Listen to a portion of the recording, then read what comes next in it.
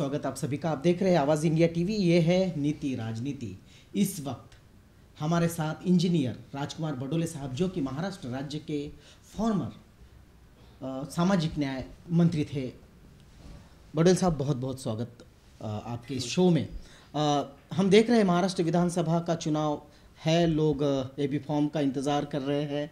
ऐसे में आपसे ये मैं पूछना चाहूँगा कि आपका जो कार्यकाल रहा महाराष्ट्र में मंत्री के नाते सामाजिक न्याय मंत्री के नाते ऐसे कौन से काम है जो आपको लगता है कि ये जो दबा कुचला समाज है जिन्हें सामाजिक न्याय की सही मायने में ज़रूरत है उनके लिए क्या काम हुआ?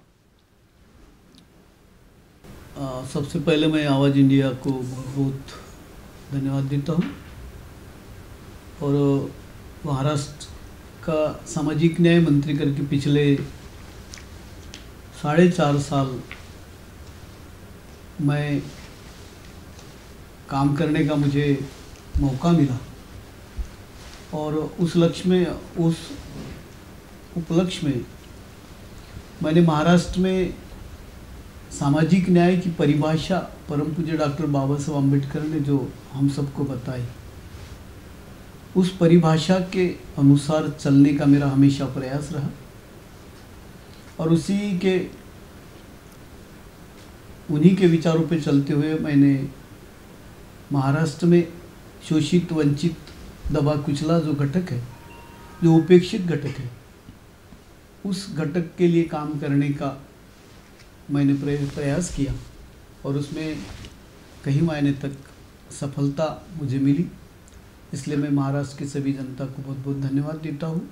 जैसे कि आप सभी को पता है, परम पूज्य डॉक्टर बाबा साहब अंबेडकर जो 1920 और 22 के दरमियान लंदन में रह के, लंदन स्कूल ऑफ़ इकोनॉमिक्स में पढ़ते थे और वो जिस घर में रहते थे, उस मकान को खरीदने का सौभाग्य मुझे प्राप्त हुआ।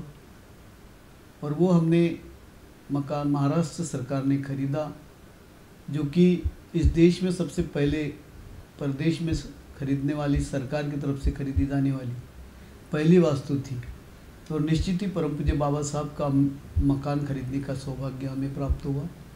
उसी तरह से हिंदू मिल, जहाँ पे परम पूज्य डॉक्टर बाबा साहब अंबेडकर का स्मारक बनाना चाहिए, करके समाज की जो भावना थी, उसका आदर करते हुए माननीय देश के पंतप्रधान नरेंद्र जी मोदी, महाराष्ट्र के मुख्यमंत्री जी, फडणवीस साहब इनके सहयोग से इंदू मिल की जगह साढ़े बारह एकड़ जगह राज्य सरकार को दी गई और वहाँ पे भव्य स्मारक जिसकी जिस वास्तु की कीमत 709 करोड़ रुपया है वो शुरू करने का वहाँ पे बनाने का एक सौभाग्य मुझे प्राप्त हुआ जिसके लिए पिछले कई सालों से 12-15 सालों से आंदोलन की हुआ करते थे जी। और वो सरकार ने खरीदी। उसी मुताबिक उसी के अनुसार और जहाँ जहाँ परम पूज्य डॉक्टर बाबा साहब अंबेडकर महाराष्ट्र में गए क्योंकि ये उनकी कार्यभूमि रही है। जन्मभूमि भी महाराष्ट्र और उनका कार्यकर्तृत्व भी महाराष्ट्र में बहुत बड़े पैमाने पे रहा है। तो उन सभी स्थलों का जहाँ जहाँ परम पूज्य बाबा साहब गए फिर वो दीक्षा भूमि हो जो उनका जहाँ पे जन्म हुआ वो अम्बेडवे गाँव हो जो जन्म गाँव उनका मूल गाँव है। वो अम्बे डबे हो या जहाँ पे उनका महापरिनिर्माण हुआ, वो चैत्यभूमि हो, इन सभी जगहों का विकास करने का काम हमने लिया और उसमें बड़े पैमाने में हमको सहकार्य भी मिला लोगों का और उस सभी के लिए हमने बड़े पैमाने पे निधि दिया। तो मुझे लगता है ऐसे कई जगह है महाराष्ट्र में, करीबन 25 जगहों को हमने सरकार के माध्यम से निधि दे के उनका डेवलपमेंट का काम हमने लिया। उसी प्रकार कई ऐसी योजनाएँ थी। फिर विदेश में जो बच्चे पढ़ा करते थे वो पहले पचास बच्चों की क्षमता थी। उसमें उत्पन्न की मर्यादा ढाई लाख रुपए तक की थी सीमित थी। उसको हमने बढ़ा के छः लाख रुपए किया। और जो दुनिया के जो सौ टॉप यूनिवर्सिटीज़ है जी। वहाँ पे जिनको भी एडमिशन मिलता है उनके लिए हम उत्पन्न की मर्यादा निकालने के कारण बड़ी मात्रा में वहाँ पे हमारे स्टूडेंट्स आने लगे।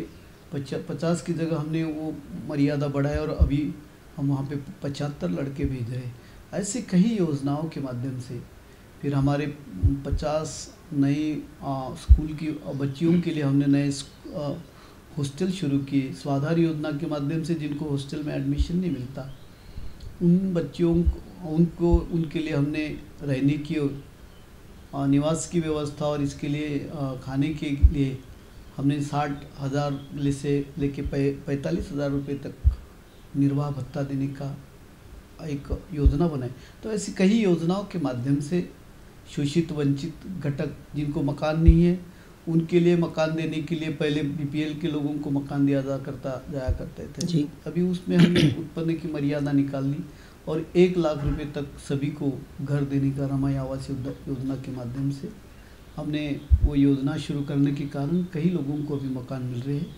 और जैसे कि माननीय मुख्यमंत्री जी कह रहे हैं कि 2020 तक हम रमाई आवास योजना और शबरी आवास योजना में महाराष्ट्र के सभी लोगों को मकान देंगे और वो हमारा सपना यहाँ पे पूरा और ऐसी अनेक योजनाओं के माध्यम से इन दबे कुचले समाज के लिए हमने काम किया।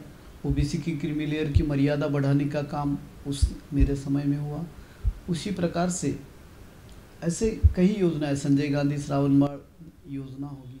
वो छः हज़ार रुपये जिनको मिलता था, उसके जगह अभी हज़ार रुपये सभी को मानधन करने का काम, दिव्यांगों को मानधन बढ़ाने का काम, दिव्यांग की स्कूलों को मान्यता, ऐसे कई काम महाराष्ट्र सरकार ने पिछले साढ़े चार साल में किए।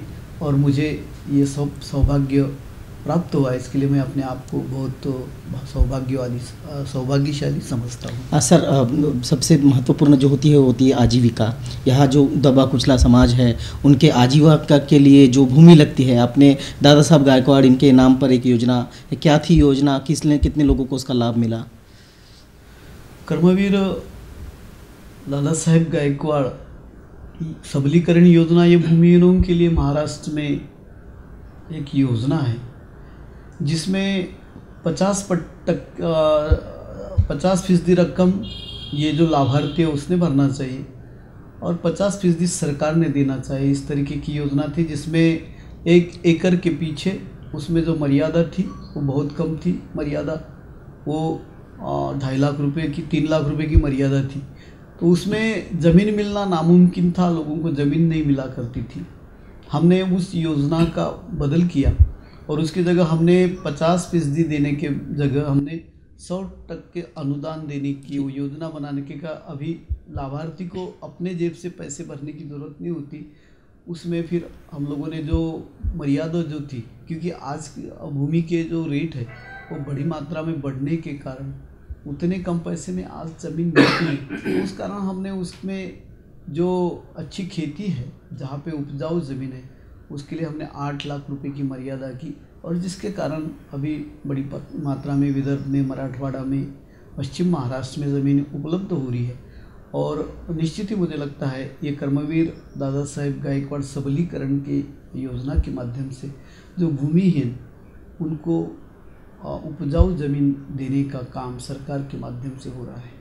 अ, सर हम लोग अगर विद्यार्थियों के समस्याओं पर जाए तो सबसे बड़ी समस्या है जो स्कॉलरशिप की जो समस्या है उत्पन्न हुई थी। आज भी हम देखते हैं बहुत सारे विद्यार्थियों के अकाउंट्स में स्कॉलरशिप नहीं पहुँची है। क्या कारण है और उसके कैसे सुलझाया जा सकता है? अ, मुझे लगता है आज की घड़ी में विद्यार्थियों की स्कॉलरशिप के उतने बड़े प्रॉब्लम तो नहीं हैं। हम्म, निश्चित रूप से पहले जो योजना थी तो उसमें विद्यार्थियों के खाते में कॉलेज के माध्यम से पैसे जाया करते थे। मतलब वो निधि जो होता था, वो कॉलेज को मिलता था। और कॉलेज फिर वो विद्यार्थी जो पढ़ते हैं, उनको स्कॉलरशिप दिया करते थे।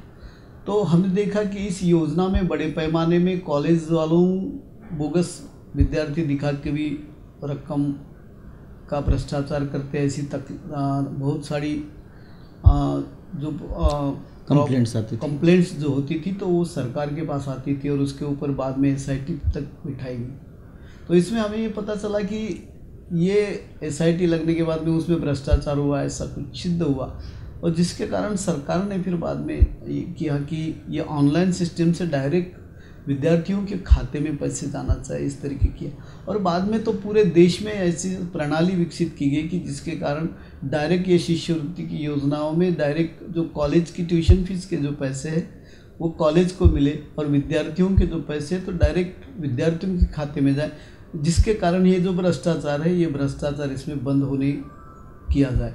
ऐसी योजना बनी और उसके कारण फिर हमने वो जो पोर्टल बनाए जिसमें विद्यार्थियों के खाते में विद्यार्थियों को पैसे मिलते हैं और कॉलेज के जो पैसे कॉलेज को जाया करते हैं। अब योजना नहीं होने के कारण पहले थोड़ी दिक्कतें आई उसमें। लेकिन जो कहते हैं कि विद्यार्थियों को पैसे मिलते नहीं, ऐसी कोई बात है नहीं। जो कॉलेज वाले लोग हैं, जिनको डायरेक्ट डायरेक्ट बहुत ज़्यादा पैसे मिला करते थे, वो उनकी ये चिल्लाहट ज़्यादातर है। मुझे लगता है इसमें अभी इतनी अच्छी योजनाएँ बनी हुई हैं कि इसमें अभी जो तकरारी थी, वो कम हो गई। और अभी डायरेक्ट जो बच्चा पढ़ता है उसके खाते में डायरेक्ट पैसे जाते हैं। आ, सर जैसे कि आपने ज़िक्र किया कि लंदन का जो बाबा साहब का निवास स्थान था उसको स्मारक बनाया गया लेकिन हम सुनते हैं कि उसमें कुछ प्रॉब्लम्स अभी आ रहे हैं। मूलतः लंदन के मकान का जो विषय है मूलतः वो जब मकान खरीदा गया जी। तो वो बाबा साहब का घर करके खरीदा हुआ है। जी। यानी इसमें दो विषय अलग है। वो मकान का लीलाव हो रहा था हम सबने बोला कि वो बाबा साहब वहाँ पे रहा करते थे। लोगों की भावना थी। लंदन में भी जो हमारे जो लोग होते वो सब के सब आ, ये क्या कहते थे कि ये मकान तो हम खरीद नहीं सकते इतने पैसे हमारे पास नहीं है। सरकार ने पुढ़ाकार लेना चाहे उन्होंने केंद्र सरकार को निवेदन दिया राज्य सरकार को निवेदन दिया।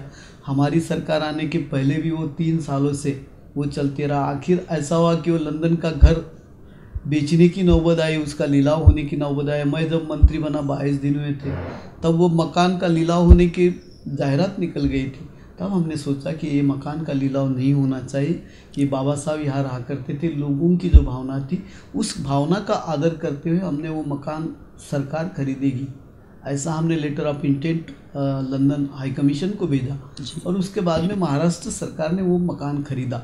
जब वो मकान खरीदा गया तब वो मकान था वो कोई ये मेमोरियल नहीं था। नहीं। वो बाबा साहब रहते थे तो उसको हमने डॉक्टर अंबेडकर हाउस ऐसे ही कहा मेमोरियल नहीं कहा था। बाद में उसमें ऐसा हुआ कि इस हाउस का रूपांतर मेमोरियल में किया जाना चाहिए ऐसी सबकी भावना थी और उसके बाद में हमने लेटर लगाया वहाँ के जो लोकल काउंसिल है कैमेडॉन काउंसिल उसको लेटर लगाया हमने कि ये जो मकान है यहाँ पे क्योंकि वहाँ पे जाने वाले विज़िट करने वाले बड़े पैमाने में लोग वहाँ पे रहा करते थे। उसकी जो दुरुस्ती हमने की है क्योंकि वो 200 साल पुराना मकान था वहाँ पे लोग आया करते थे तो उसकी दुरुस्ती हमने जब करते समय में हमने बार बार वहाँ के लोकल काउंसिल से परवानगी लेके वहाँ पे काम किए थे। देखियो लेकिन जब उसका स्मारक बनाने की बात जब आई तो स्मारक बनाने के लिए फिर हमने जब लेटर डाला उसके बाद में वो स्मारक बनाते समय में जो क्यूरीज निकाली गई उसका रूपांतर करने के लिए फिर बाकी बातें हुई। और पहले इसमें वहाँ के लोकल काउंसिल ने ये कहा कि भाई इसमें स्मारक बनाते समय उन्होंने शुरुआत में कुछ ऑब्जेक्शंस वहाँ पे किए। जिसकी त्रुटियाँ जो थी तो वो पूरी करने की सरकार के माध्यम से प्रयत्न हो रहा है। हमने भी वहाँ पे एक स्पेशल काउंसिलर लगाया हुआ है जो वो सब प्रकरण देखता है। और बाद में अ, इंडियन हाई कमीशन और अभी वहाँ की गवर्नमेंट टीम वहाँ पे ध्यान दे रही है। और इसलिए मुझे लगता है वो जो आ, बाबा साहब का जो मकान था जो घर है वो वास्तु का स्मारक में रूपांतर होने में कोई अड़चने तो पहले थोड़ी बार जो आई थी वो अड़चने दूर हो जाएगी। वहाँ पे जो लोकल बॉडी हमने वहाँ पे बना है वो भी ध्यान दे रही है। महाराष्ट्र सरकार माननीय मुख्यमंत्री जी खुद वहाँ पे ध्यान दे रहे और आ, सरकार ध्यान देने के कारण वो निश्चित ही उसका स्मारक में रूपांतर होगा। इसमें कोई डाउट नहीं हज़ारों सालों से जिनको न्याय नहीं मिला उन सभी सभी समाज के घटक को न्याय मिलना चाहिए। ऐसी फिर वो शिक्षा उनके बारे में हो एजुकेशन के संबंध हो रोज़गार का प्रश्न हो उनका।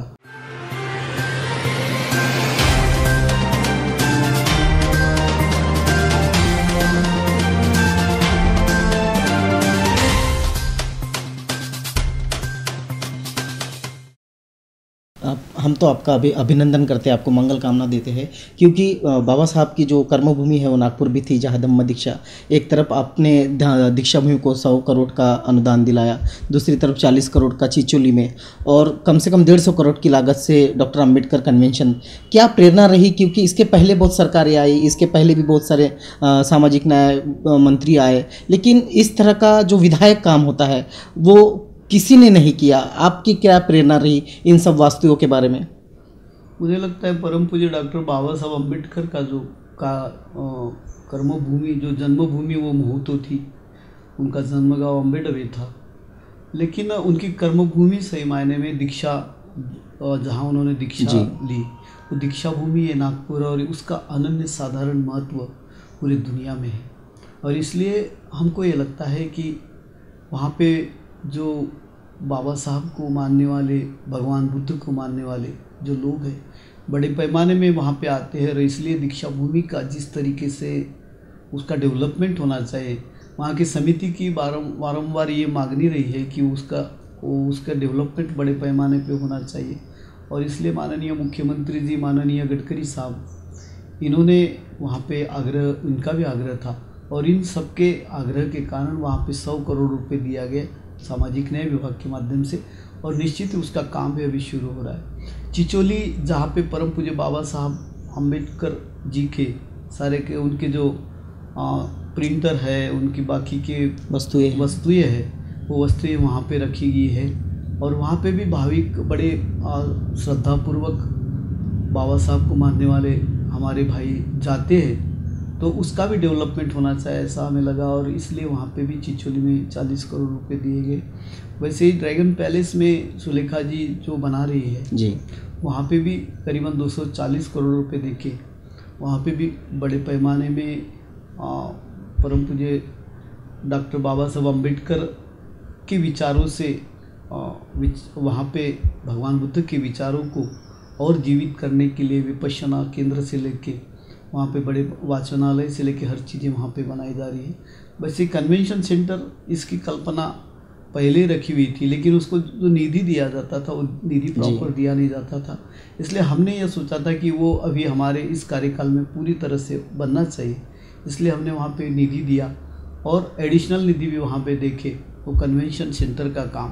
क्योंकि ये सभी जो जगह है ये परम पूज्य डॉक्टर बाबा साहब अंबेडकर के विचारों को विचारों से हम सबको प्रेरित करती है और ये सभी प्रेरणा स्थल है।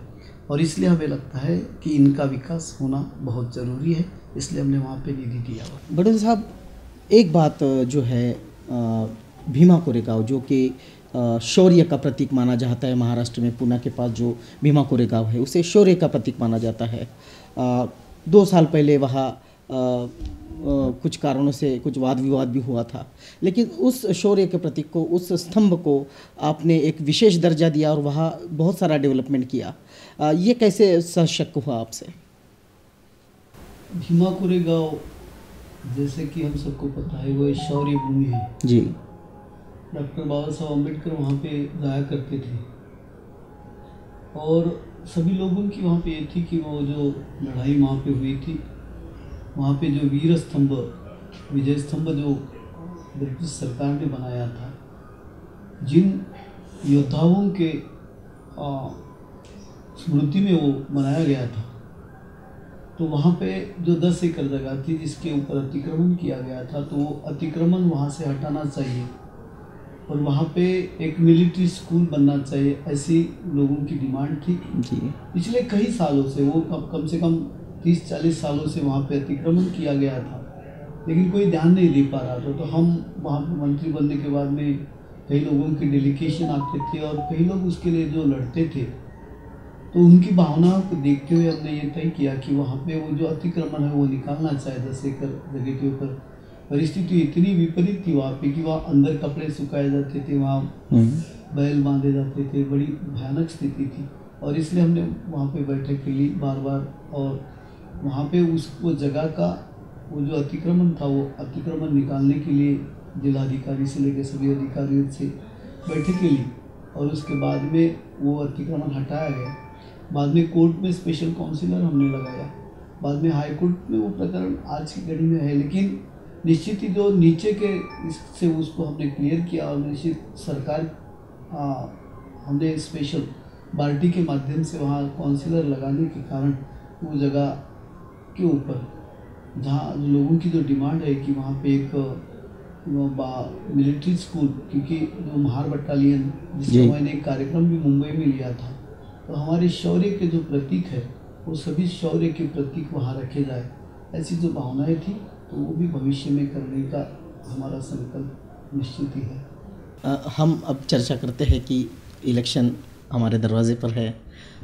ए बी फॉर्म दिए जा रहे हैं नामांकन भरे जा रहे हैं। कांग्रेस ने कुछ उम्मीदवार अपने तय किए हैं। बीजेपी भी हो सकता है आज अपने उम्मीदवार। क्या लगता है कि जो जवाबदारी पार्टी ने आपके ऊपर दी थी, वो जवाबदारी अब आगे कैसे आप उसको, उसका उधर निर्वाह करेंगे? मुझे लगता है महाराष्ट्र का सामाजिक न्याय विभाग का, कि महाराष्ट्र के सामाजिक न्याय विभाग की जो संकल्पना डॉक्टर बाबा साहब अंबेडकर की जो थी उन्होंने जो फोर्ड उन्होंने यहाँ पे उन्नीस सौ बत्तीस में वो संकल्पना रखी थी कि सामाजिक न्याय, ये जो दबा कुचला जो समाज है जो अनिष्ट प्रथाओं के कारण, अनिष्ट रूढ़ियों के कारण हज़ारों सालों से जिनको न्याय नहीं मिला, उन सभी सभी समाज के घटक को न्याय मिलना चाहिए। ऐसी फिर वो शिक्षा उनके बारे में हो, एजुकेशन के संबंध हो, रोज़गार का प्रश्न हो उनका उनका रहने का प्रश्न उनके सभी प्रॉब्लम को लेके उनको न्याय मिलना चाहिए ऐसी उनकी जो कल्पना थी। और उसी तहत हमने काम शुरू किया था। मुझे लगता है फिर भी इस समाज के लिए बहुत बड़े पैमाने पे काम करने की ज़रूरत है सरकार कोई भी हो। लेकिन उनके विचारों में जो काम अधूरा जो काम है वो पूरा होना चाहिए ऐसा हमें लगता है। और निश्चित ही आज अभी इलेक्शन का दौर है। जी। हम भी यहाँ पे इलेक्शन के लिए तैयार है। पार्टी निश्चित ही मुझे लगता है हमको टिकट देने वाली है। और एक बार ये हुआ तो निश्चित ही जो परम पूज्य डॉक्टर बाबा साहब अंबेडकर के जो सपने के जो अधूरे काम पड़े हुए वो कामों को हम पूरा करने के लिए ही इस चुनाव में उतर रहे हैं। और निश्चित ही जो समाज एक जिनसी समाज निर्माण हो चाहे समता मूलक समाज जिसमें जाति को कोई बढ़ावा नहीं देते हुए सभी हमारे ओबीसी हमारे अनुसूचित जाति के लोग हमारे अनुसूचित जनजाति के लोग इन सबको न्याय मिलना चाहिए। ऐसी जो भूमिका है तो उस भूमिका को लेकर ही हम काम करने की करेंगे। और निश्चित ही मुझे लगता है कि निश्चित ही हम यहाँ पे बड़ी मात्रा में निश्चित ही जीतेंगे ऐसा मुझे विश्वास है। ये जो आप, आपका विधानसभा क्षेत्र है सड़क अर्जुनी ये पूरा विधान आपके बहुत लोग यहाँ चाहते हैं हम जैसे आ रहे थे अ, हमने कुछ एड्रेसेस पूछने की तो बड़ी अदब के साथ हमारे साथ पेश आए और सबको पता है कि आज आप घर में हैं लगभग सभी को पता है सबने कहा कि हाँ सर आज घर में आप जाके मिलिए। क्या संदेश देना चाहेंगे आप अपने मतदाताओं को इस दौर में जबकि आगे इलेक्शन है? मतदाताओं का मेरा मुझे मतदाताओं को मैं यही कहूँगा कि निश्चित ही ऐसे लोगों को चुन के दीजिए जिन्होंने इस देश की बुनियाद, समतामूलक समाज निर्माण करने की दृष्टि से और जिन जिन महापुरुषों ने यहाँ पे ऐसा समाज जिसमें जात, धर्म, पंथ, इससे ज़्यादा बेहतर इंसान निर्माण हो, उसके लिए जो काम करने वाले लोग, उन्हीं लोगों को चुन के दे के ज़्यादा बड़ी मात्रा में चुन के देवे और एक जो भारतीय संविधान परम पूज्य डॉक्टर बाबा साहब अंबेडकर ने हम सबको दिया जिसमें लोकशाही अभिप्रेत लोकशाही में, विश्वास रखने वाले हमारे सभी भाइयों को चुन के देने की अपेक्षा ही मैं यहाँ पे करता हूँ। और जितने भी लोग हैं निश्चित ही हम सबको ज़्यादा से ज़्यादा मतदान देके इन महापुरुषों के विचारों को जीवंत रखेंगे ऐसी अपेक्षा करता हूँ। तो समतामूलक समाज स्थापन करना है। लोकतांत्रिक जो मूल्य है, जो परम पूज्य डॉक्टर बाबा साहब अंबेडकर इन्होंने संविधान में रखे हैं, उन मूल्यों को भी हमें ज़िंदा रखना है। ये थे इंजीनियर राजकुमार बडोले साहब, जिनसे हम बातचीत कर रहे थे, आप देख रहे थे नीति राजनीति। बडोले साहब, आपने अपना बड़ा कीमती समय हमें दिया, इसके लिए आपका बहुत बहुत धन्यवाद। जय भीम। जय भीम।